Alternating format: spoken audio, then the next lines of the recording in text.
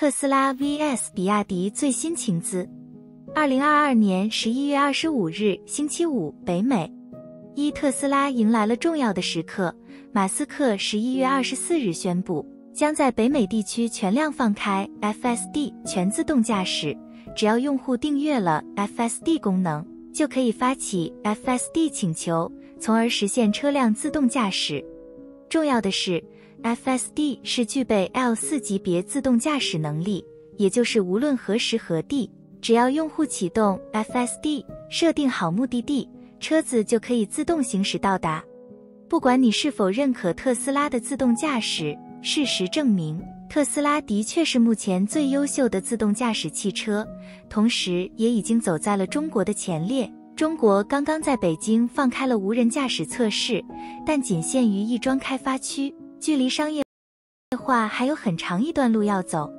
二，根据 Troy Tesla 数据，自2016年 Q4 开放 FSD 购买以来，截至2022 Q2，全球约43.7万辆车搭载 FSD，其中北美市场选购率约百分之十五，欧洲约百分之六，中国约百分之一。二零二一年，二十二 Q 二 FSD 收入贡献分别约七点九一亿、二点二七亿美元。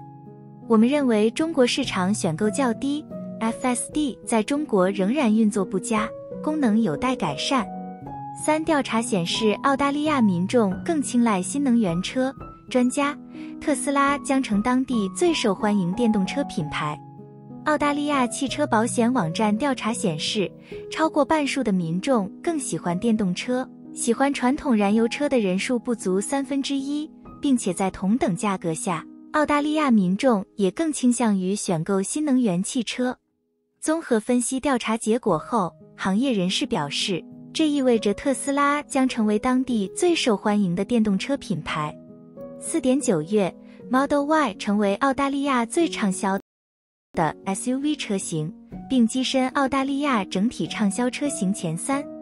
而中国制造 Model Y 车型在澳大利亚市场开启首批交付后，仅用短短两个多月时间，销量便已迅速超越当地传统热销燃油车型，领跑澳大利亚车市畅销榜。五，美国即将出台一项旨在帮助电动汽车销售的重大计划，特斯拉将在多个国家面临阻力。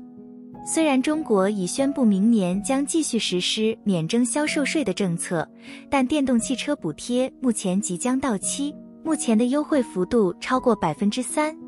由于中国的交货时间缩短了，一些主要的特斯拉观察人士担心，随着产量超过需求，特斯拉的价格可能会进一步下降。六，在德国，电动汽车补贴也将在明年年初根据汽车价格减少。与此同时，特斯拉正在大幅提高其柏林地区工厂的产量。七高盛近日的一封预测报告指出，在超过一千六百亿美元的投资帮助下，美国和欧洲预计到二零三零年将摆脱对中国动力电池的依赖。目前，中国生产了全球百分之七十六的电池，这得益于中国自身对电动化研究和可持续发展战略的大力支持。同时，由于主导了从材料到成品的整个生产流程，西方国家也对其在电池上的依赖存在忧虑。八，近期特斯拉汽车宣布旗下车型降价，闹得沸沸扬扬，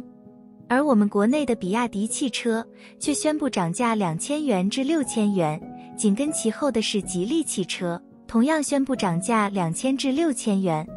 还有就是几何汽车、瑞兰汽车均宣布涨价。九，比亚迪高端品牌仰望的首款车型 R 一谍照曝光。十，随着中国新能源汽车驶入泰国，中国车企的出海战略也出现了新的特点。一方面，长城汽车、比亚迪、哪吒汽车等多家车企均表示将以泰国为跳板进入更广阔的东南亚市场；另一方面，在泰国建厂。成了上汽集团、长城汽车和比亚迪等车企的共同选择。巴菲特语录：我们应集中关注将要发生什么，而不是什么时候发生。曾博士解读：近期很多比亚迪和特斯拉的投资人受到行情波动的影响，十分焦虑，这是没有必要的，因为你不是算命师，谁也无法预测明天会发生什么。但是大部分人都知道，全世界都在期待十年后有一个更清洁的世界，并开始用法律确定下来。谢谢大家阅读、支持、订阅，以便我们持续做出更好的节目。